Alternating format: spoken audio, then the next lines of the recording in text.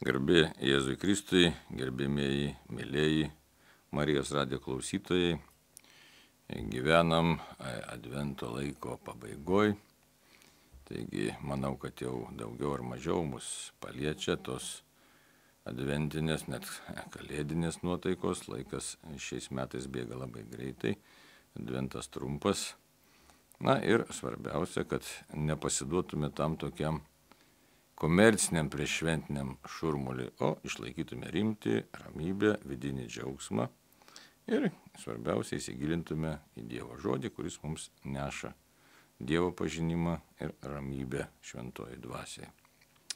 Taigi esam Kaune, Marijos radijos studijai, laida tiesioginė, prie mikrofono aš, kunigas Arnodas Valkauskas, šiandien pašnekovų nėra niekas nepanorėjo ateiti, visi pra, purtosi, kratosi kažkodėl, tai visi skuba savais reikalais, bet manau, mes žvelgsim toliau katekizmo tekstą ir e, šnekėsim, ką mums katekizmas byloja. Prie pulto talkina vykintas šiandieną, na, o prieš laidą pirmiausia pasimelskim, paskui kalbėkim toliau. Vardan Dievo Tėvo ir Sūnaus ir Šventosios Dvasios Amen. Viešpėje Dieve, iš tavo rankos gavom gyvenimą kaip didžiulę dovaną Prisipažįstam, kad labai daug ko nesuprantam, todėl labai prašom. Nuoširdžiai prašom. Padėk mums gyventi, atrasti džiaugsmą, ramybę, prasme visuose džiaugsmuose ir visuose išbandymuose ir nešti tavo viltį šalia esantiems žmonėms. Tu, Jėzau, gyveni ir viešpatauji per amžius. Amen. Primenu dar kartą laidą tiesioginę, galėsim pabendrauti, jeigu norėsite. Kauno kodas 837, numeris 323230. Arba žinutę galima parašyti 8650 49 107. Toliau žvelgiame į katekizmą ir katekizmas vis dar e, mums e, kalba apie penktąjį Dievo įsakymą. Ir dar nemažai tų Čia bus nuodėmė apie penktą įsakymus, labai išplėstas ir labai tokių įdomių, aktualių temų, apie kurias eidami iš pažinties mes gal kitą kartą net ir nesusimastume, kad tai galėtų būti susijęs su penktuoju Dievo įsakymu. Kitaip tariant, nežudyk, o tas nežudyk susijęs su mylėk savo artimą kaip save patį. Dabar šiandieną net tai pasižiūrėjau prieš tai, na, iš vis tokios sakytume, ir, ir suprantamos savaime temos ir tokios, na, galbūt šiek tiek ir paaiškinimo reikia. 2290 numeris mums kalba apie saikingumo darybę. Dabar su kuo jin susijus ta saikingumo darybė? Paskaitysiu tekstą, paskui pasižiūrėsim, ką mes čia galim savo tokio įspūdingesnio, ar įdomesnio, ar naudingesnio atrasti. Taip, kalba tokia. Saikingumo darybė leidžia e, išvengti visokio piknaudžiavimo. Nesaikingumo valgant, vartojant alkoholį, tabaką ir medikamentus. Sunkiai nusikalsta tas, kas būdamas neblaivus arba besaiko pamėgęs greitį, sukelia pavojų kitų žmonių ir savo paties saugumui sausumos, vandens ar oro keliuose. E, na, dabar kas čia tokio, sakyčiau, įprastinio, tai šiaip jau šitas visas numeris atitinka paprasčiausią normalaus žmogaus normalų protavimą. Tiesiog suformuota tokio, kad nedaryk to, e, kas tau yra grėsminga ir nedaryk to kitiems, ko nenori, kad tau kiti darytų arba kad tau pačiam atsitiktų. Tačiau e, toks yra įvardinimas, tiesiog į katekizmą įtrauktas ir įdomu, ne tai bažnyčios mokymas yra. Tai šitoje vietoje ir čia nėra dogma, čia yra moralinis mokymas. Tai čia nėra jokių tikėjimo tiesų šiaip jau. E, kalbėjimas apie darybę ir apie darybę, saikingumo darybę. Tokia įdomi darybė. Ne, tai yra, kad e, naudotis gėriais, bet naudotis tais gėriais iš tikrųjų, na, e, tiesiog tam tikrose ribose naudotis. Dabar mes tą e, galėtume darybę susijęti su kita darybė, tai yra susivaldymo moralinė darybė. Kai kalbėjom apie pagrindinės darybės, tai yra iš protingumas, teisingumas, tvirtumas, susivaldymas. Tai štai saikingumas kažkiek tai siejasi su susivaldymu, ne? nors jin tokia nėra gal saikingumo darybė jau tarptų pagrindinių, bet jin tiesiog išplaukia iš susivaldymo darybės. Dabar e, kas dar svarbu, kad ne, tas saikas, ne toks savotiškas e, pasakymas, kada tas saikas. Ne, tai būtent čia galėtume žvelgti taip pat, kad ir susijęs su tam tikru sugebėjimu suprasti, taigi suprasti, ko man reikia ir ko man nereikia ko reikia siekti ir ko reikia vengti. Tai galėtume sakyti, kad saikingumo darybė yra susijusi ir su kitom darybėm. Tai yra su išmintim. Taip pat e, su e, tokiu kantrumu gal netgi. Na, tai susiję su tokiom na, savybėm, gal reiktų sakyti labiau darybėm, kurios padeda mums būti žmonėmis, e, kurie tokiais žmonėmis, kurie moka tvarkyti, moka išnaudoti ar panaudoti, tiesiog moka būti laisvais, tai moka panaudoti savo laisvę, tai tinkamai. Dabar žvelgiam, ką katekizmas sako. Jis sako, kad reikia išvengti, arba tiksliau saikingumo darybė, labai gražiai čia pasakyta, leidžia išvengti visokio piktnaudžiavimo. Piktnaudžiavimas tai yra gėrio panaudojimas netinkamai, kažkokio tai gėrio dalykų. Nors čia, kaip žiūri katekizmą, tai čia nelabai pavadinsi, kad išvardina gėrius. Ne. Na, dabar kokius e, piknaudžiavimo? Aišku, valgys yra gėris. Tai, taigi, išvengti visokio piknaudžiavimo. Ir štai pirmas piknaudžiavimas, kurį, e, kurio mums reikia išvengti, o tai susiję taip pat ir su aistromis. Kokiomis aistromis, jeigu mes e, kažkada tai kalbėjom žvelgiam į dykumų tėvų mokymą, prisimename Vagrių Pontietį ir kitus dykumų tėvus, tai e, ta e, vadinama rajumo aistra, ne, tas tiesiog rajumo aistra, kuris tiesiog įgauna įvairių formų. Tai štai rajumo aistra mums e, trukdo gyventi saikingai. Tuo tarpu saikingumas valgant labai svarbus dalykas, kadangi padeda mums ne tik tai kūno linijas išlaikyti arba ten fizinę sveikatą, bet taip pat mums padeda saikingai, sveikai žvelgti iš viso į pasaulį. Tai čia štai labai įdomiai, e, kai žvelgiam mes iš tokia tokie atrodo paprastą katekizmo kalbėjimą, e, kur kalbama apie vengimą piknaudžiavimo, tačiau galima e, atrasti tą kontekstą, labai platų, gilų kontekstą, kuris kalba apie žmogaus tikrąją laisvę. Dabar kas ta tikroji laisvė? Tikroji laisvė tai yra tikrai e, gebėjimas būti pagal Dievo mums norėtą planą, gebėjimas būti laisvais žmonėmis, kurie sugeba valdyti save. Tai yra savo troškimus, savo mintis, savo jausmus, bet ne taip, kad siaurai valdyti ir kokiems tokiems menkiems tikslams, bet nukreipti juos į pagrindinį tikslą, tai yra atpažinti savyje Dievo žmogų ir tiesiog paskirti save na, santykiui su Dievu. Dabar čia aišku gražiai ką pasakiau, bet nelabai gali būti aišku, ką tas reiškia santykis su Dievu. Tai yra tiesiog gyventi, suprantant, kad gavau iš Dievo dovaną, gyvenimą, gavau iš Dievo kūną, gavau iš Dievo protą. Tai labai gražios dovanas.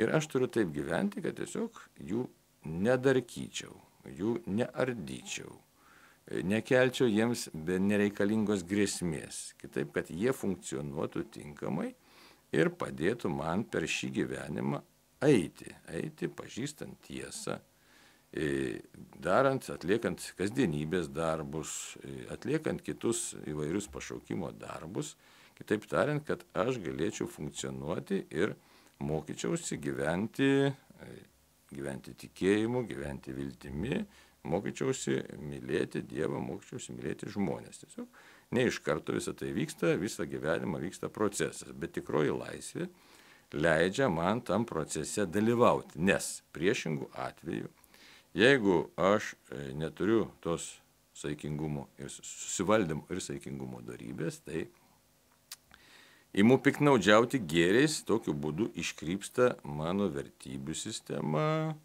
e, aistros mane užvaldo ir aš nebegaliu laisvai pasirinkti to didesnio gėrio, dvasinio gėrio, negaliu tiesiog, na, iškrypsta mano pasaulio matymas ir mano veikimas pasaulyje. Čia yra labai svarbus tokie dalykai. Tai dabar žiūrim, žiūrim toliau. Taigi nesaikingumas valgant įdomu, ne? E, jeigu taip e, pagal mūsų patirtį sakytume gyvenimišką, tai gal pirmoji vietoje sakytume, o, narkotikai, alkoholis čia mus labiausiai ardo. O katekizmas sako, pirmiausia, nesaikingumas valgant.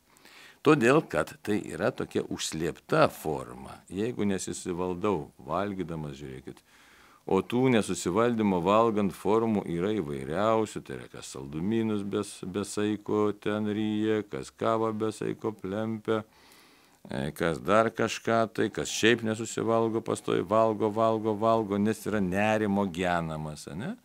Tai yra įvairiausių priežasčių, kodėl ta rajumo aistra mus užvaldo. Tai, taip kad tas rajumas slepia savyje daug tokių destruktyvių priežasčių.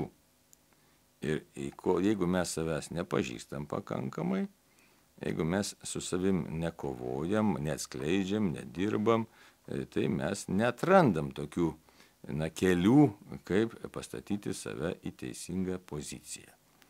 Tai va, vienas momentas. Taip. Kitas dalykas, štai piknaudžiavimas, sako, alkoholį, vartojant alkoholį. Taigi čia labai sudėtingas klausimas, ypač mūsų šiauriečių protams ir mūsų įpročiams labai sudėtingas. Nors, kaip minėjau, tas nesaikingumas, rajumas valgant, jame slypi iš tikrųjų priežastis, tai gilios priežastis. Dabar e, vartojant alkoholį, kur tas saikas, ne, kur tas saikas? Labai sudėtinga tema ir tuo pačiu nesudėtinga tema. Dabar kodėl sakau sudėtinga? Todėl, kad nustatyti saiką, na tai dabar ypač šventės artėja, kalėdos bus, ne, paskui nauji metai, tai neapseis Lietuva be alkoholio. Na, bet kokie pas, rezultatai, kokios pasiekmes mes žinom puikiausiai. Žiūrėkite į kiekvieną priimamąjį. Tai taip nereikia, žiūrėkite kiekvieną sekmadienį, nereikia nei švenčių jau sekmadienį paprastai Lietuvos primamieji būna užkišti žmonių, kurie susižalojo, sužalojo, nukrito ir taip toliau, ir taip toliau, apsinuodijo, gavo kažkokią lygą bjaurę, kokį nors kasos uždegimą, todėl kad e, perdazavo alkoholį. Dabar e, kiek šeimų nukenčia dėl alkoholizmo, ne, kiek kenčia, baisiausiai, baisiausiai žmogžudystės ir taip toliau vaikų nepriežiūra, nu, žodžiu, nesikartosim, mes žinom tą e, situaciją. Bet dabar saikingumo darybė leidžia išvengti visokio piknaudžiavimo, tame tarpe ir vartojant alkoholį. Teisingai ar neteisingai. Ne? Labai mums šiauriečiams sunki tema, nes, nes mūsų mąstymas į alkoholį požiūris yra labai toks na, netikęs, sakyčiau. Mes į alkoholį žvelgiam ne kaip į maisto dalį ir mums tai nėra maisto dalis, bet mums tai yra svaiginimosi priemonė. Ir tiesiog mums tai yra narkotikas iš tikrųjų, reikia tiesiai, šviesiai sakyti. Ir tai nėra tas pats, kas italui ar ispanui išgerti pusę taurės vyno, užsukti butelį ir pastatyti tą butelį į vietą. Toks variantas Lietuvoje nelabai įmanomas, reikia šitą suprasti. Ir mūsų žmonės, ką paprastai išgeria stikliuką, nori antro, paskui nori trečio ir nori, ir nori, ir nori. Ką tas rodo? Tai rodo, kad esam labai stipriai linkę į alkoholizmą. Ir todėl mums tas saikas, na tai iš viso saikingumas šitoje vietoje labai yra sudėtinga problema. Labai. Žinom, kad terapinė dozė, atseit terapinė dozė, ką sako mokslas, tai kad yra 20 ml. Tai, tai yra labai nedaug tai yra labai nedaug. Pasakykit man tokį žmogų, kuris e, Lietuvoje išgeria 20 ml ir daugiau nebegeria va, per vakarą kokį nors. Labai retas atvejis. Tai štai. Taip kad e, mums šitoje vietoje yra ką veikti. Ir ko gero, ko gero geriausia, tai iš vis šitoje vietoje apsiriboti, na, tiesiog visiškai nevartoti alkoholio, jeigu matai, kad, kad tave tas traukia. Tai va, taip, kad Taip kad rimta labai problema ir matom, kad katekizmas perspėja ir, ir kalba apie tą saikingumo darybę, kuri šitai vietai yra, na, tiesiog gelbėtoja, kuri gelbėja mus nuo daugelio, daugelio, daugelio bėdų. Žiūrėkit, kiek būtume išvengę mirčių, sužalojimų, avarijų, šeimų nelaimių, jeigu Lietuvoje nebūtų tiek daug vartojama alkoholio. Ir mūsų žmonės net nenori to pripažinti, bet tai logiška yra, ne? kiek ten visokie alkoholio apribojimai, kiek sulaukia įvairiausių komentarų, kad kas norės geras, negeras, bet iš tikrųjų mūsų žmonės nesupranta, kad esam dideliai, dideliai bėdoj, labai dideliai bėdoj. Man teko Italijoje gyventi, nematai mažai, septynerius metus. Ir per vienas kalėdas buvau italų šeimoje. Tai įsivaizduot, buvo 12 žmonių ir stovėjo 3 buteliai vyno. Per kalėdas. Ir koks rezultatas? Aš galvoju, kad tai čia atneš dar, visi išgers ir dar pritrūks o rezultatas visiškai priešingas. Liko pusantro butelio vyno. 12 žmonių suaugusių. Jūs galite tą įsivaizduoti šiandieną Lietuvoje. Ypač tie, kurie mėgsta šiek tiek išgerti. Net nedegtinės, vyno. Liko. Todėl, kad ten visi šnekėjo, sėdėjo ir taip toliau. Nes yra kitas mentalitetas, kitoks požiūris. Ir e, alkoholizmo, sakysim, Italijoje pakankamai mažai yra. Tuo tarpu pas mus labai daug kai kuriais, kai kurių priklausomybės centrų darbuotojų manimų, kad 90 procentų lietuvių yra linkę į alkoholizmą. Tai šitoje vietoje saikingumo darybė mus turėtų gelbėti, gelbėti ir gelbėti ir, ir prisipažinimas, kad man reikia, reikia būtent labai didelio dėmesio savo pačiam, savo elgesiui, savo laikysenai ir tiesiog priimti sprendimą tam tikrą ne tik saikingumas galbūt, bet ir visiškas nevartojimas turėtų būti mano gelbėtojas. Toliau apie tabaką, apie tabaką, ne, apie tabaką kalbėti iš vis yra sudėtinga, nes jeigu apie alkoholį dar galima kalbėti, kad jis kažkiek yra maisto dalis, gali būti ten kažkokiam apetitui sužadinti ar virškinimui pagerinti, nes E, tai čia mūsų kultūroje net įsvaiginimosi priemonė, pasakysim, italai, tai turi tokius terminus kaip aperityvas, digestyvas, tai yra tas, kas prieš valgį, po valgį, mažom dozėm, po šaukštą, po šaukštą. Tokie dalykai, sakysim, arba net kafe koreto, ką tas reiškia. Kafe koreto tai reiškia kavai, kurią įpilti yra šaukštelis brendžio, nu, tai tokie dalykai. Tai va mums irgi sunkiai suprantami dalykai, nes jeigu brendį reikia gerti, reikia išgerti mažiausiai 300 gramų, tai, tai čia tada gerimas. Tai va, tai dabar tabakas iš tikrųjų neturi jokių pateisinimo e, pagrindo, jokių, jokių priežasčių būti patei. Absoliučiai, tai absoliutus nuodas, absoliutus narkotikas. Tai šitoje vietoje kalbėti apie saikingumą, ne, tai Kitaip moralinė teologija netgi kelia klausimą, nežinau, dabar negaliu pasakyti, ar mes galėtume tai visiškai su tikrumu teikti, tačiau rūkimas iš tikrųjų yra savęs žudimas. Ir kaip savęs žudimas, tai kaip traktuotinas bent jau kaip lengva nuodėmė, nors ta lengva nuodėmė gali suaukti į didelę nuodėmę, nes, nes kenki savo sveikatai ir provokuoji aibę lygų, aibę lygų.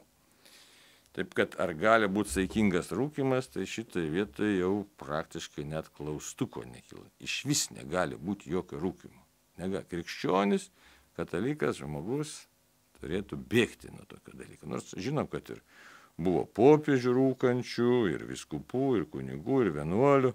Na gal jums keistai skamba, bet taip yra iš tikrųjų. Na ir, ir taip eilinių tikinčių, kaip sakau, eilinių, nes taip liaudis pripratus mąstyti, visi tai mes tikinti esam. Ir visi vienodai iš esmės atsakingi esame. Na, aišku, gal atsakomybė prieš tautą skiriasi, sakysim, viskopo ir, ir, ir kokio nors na, žmogaus, kuris nevedęs gyvena. Tai aišku, skiriasi.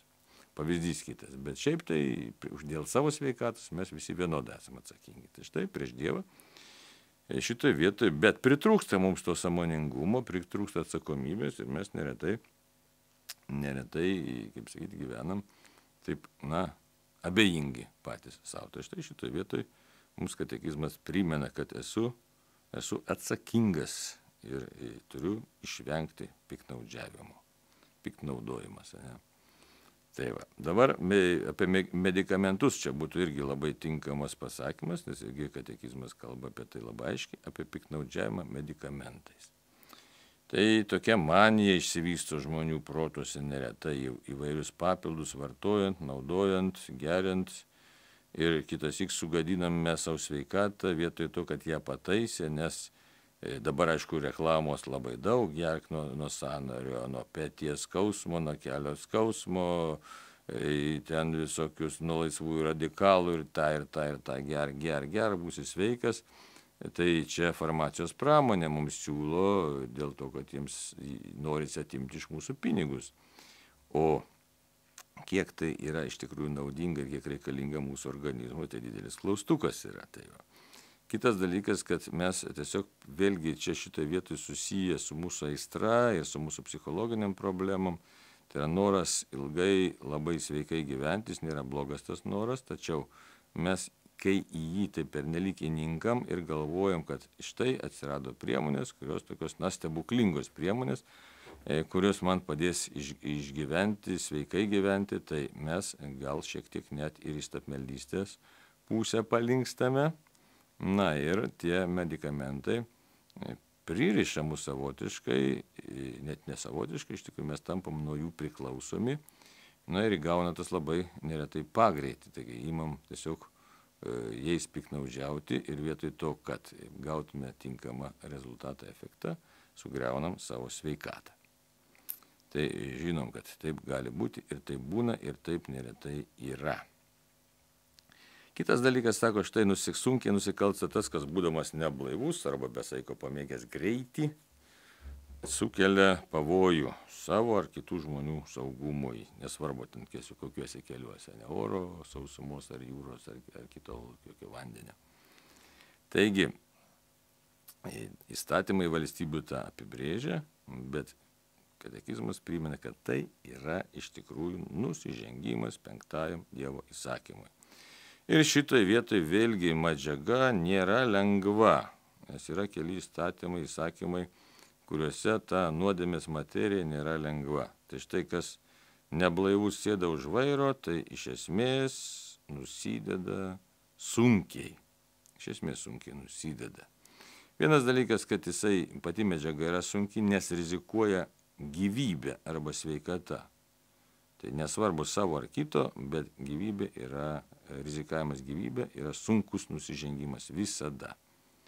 Išskyrus, aišku, atveju, kai, atvejus, kai paukoji savo gyvybę už gelbėdamas kitą, bet šiaip lengvabūdiškas elgesys su savo arba kito gyvybė yra sunkiai nuodėmė, nes gyvybė yra Dievo dovana ir tai nepakartojamas dydis yra net kartojamas, negražinamas.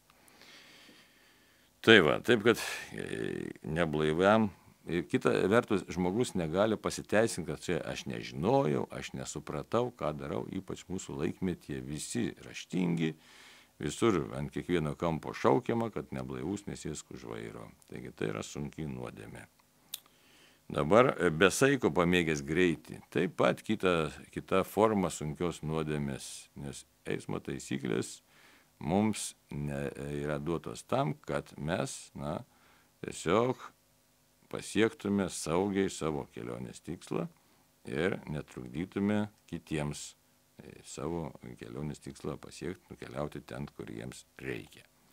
Todėl rizika, rizika kelyje irgi taip pat yra sunkus nusižengimas. Taigi, todėl saikingumas, ne vėl taip įdomiai saikingumas ir greitis, ne, nes, na, tiesiog gal žmogus jaučia malonumą greitai važiuoti, ne, tai jis turėtų tada jau eiti į kažkokį tai autodromą, kažkur įsirašyti kokią nors bendruomenę ar dar kažką, tai kur tą jis galėtų realizuoti. Tai yra saugiai savo pačiam ir kitiems, bet jokių būdų nedaryti visokiausių lenktynių, e, rizikuodamas savo arba kitų gyvybę.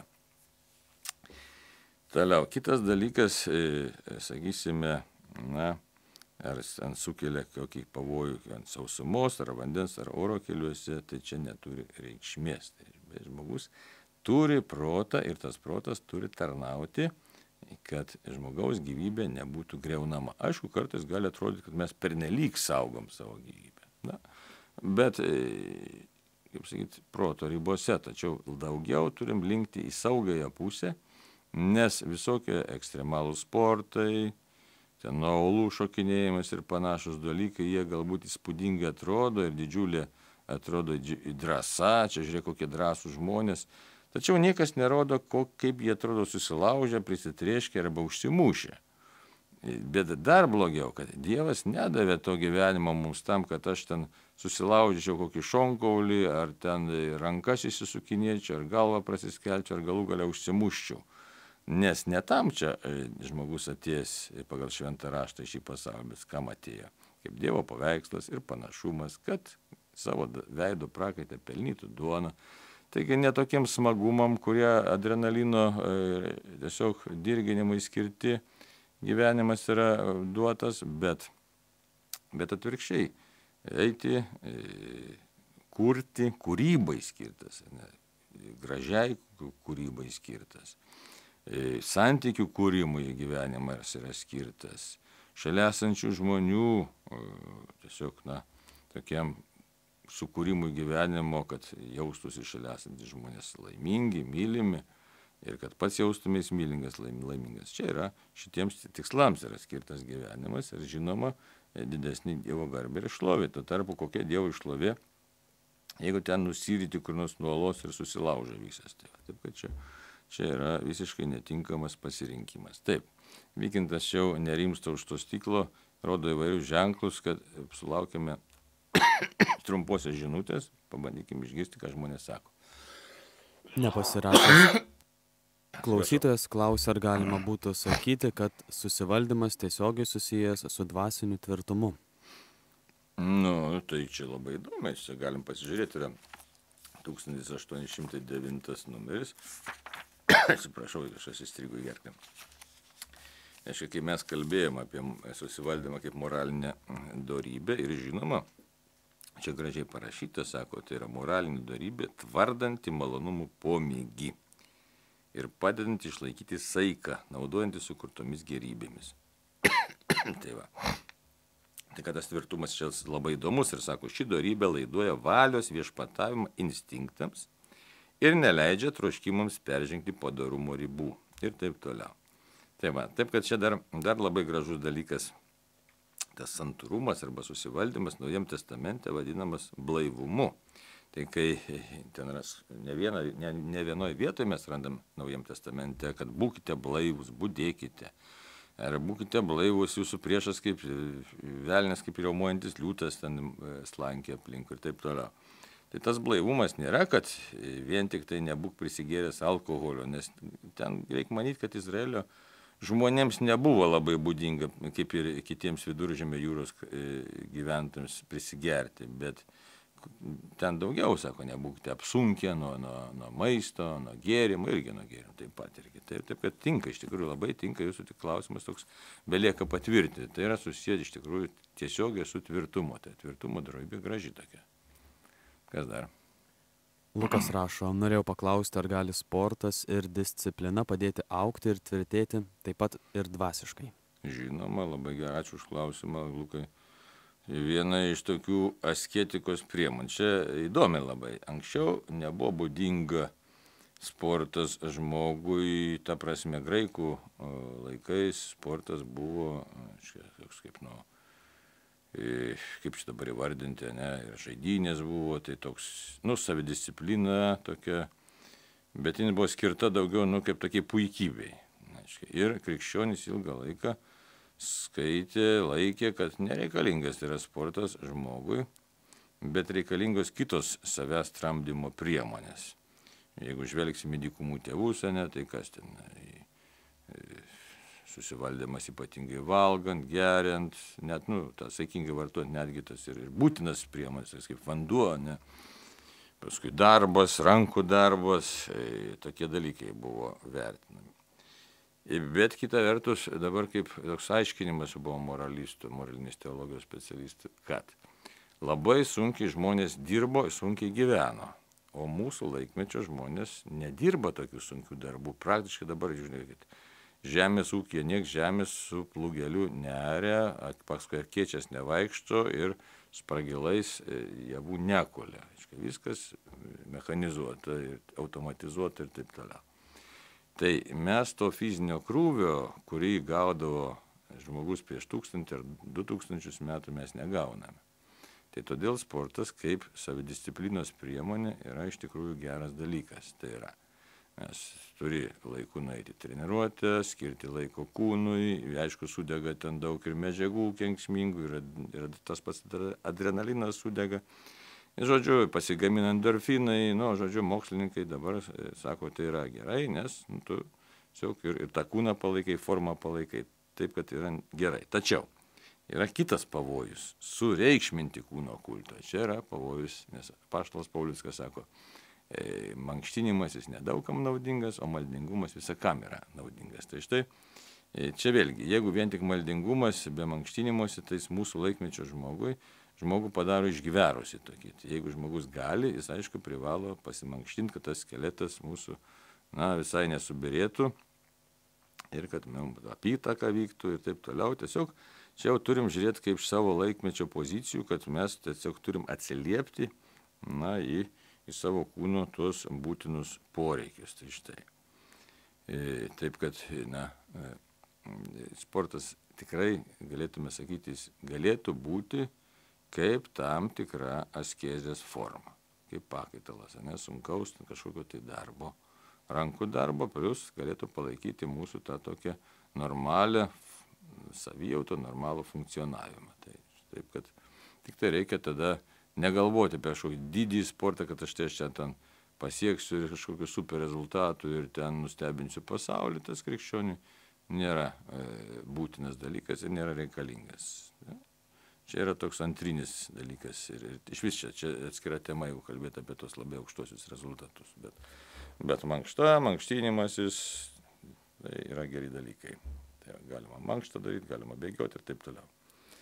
Tai va, neturim daugiau klausimų. Ne? Dar turime keletą, o, gerai, ne, ne visai šios dienos temų, bet Gedas klausia, rašo, noriu paklausti, manau, esu iš savo giminės paveldėjimo genų piktas, greitai supykstu, tai labiausiai kenčia mano žmona. Patarkite, kaip man įveikti gan stiprų pyktį. Manau, nėra kokio piktojo įtaiga daroma Dėkui, palaimintų švenčių. Ačiū, ačiū, labai geras klausimas, čia iš tikrųjų labai rimtas klausimas, taip kad reikia dirbti su savimi, ne? To darbo įvairiausia, aišku, gali būti tikrai temperamentas, choleriškumas tam tikras, ne, žmogus, tai, e, tai, tai save stebėti, ne, save pažinti.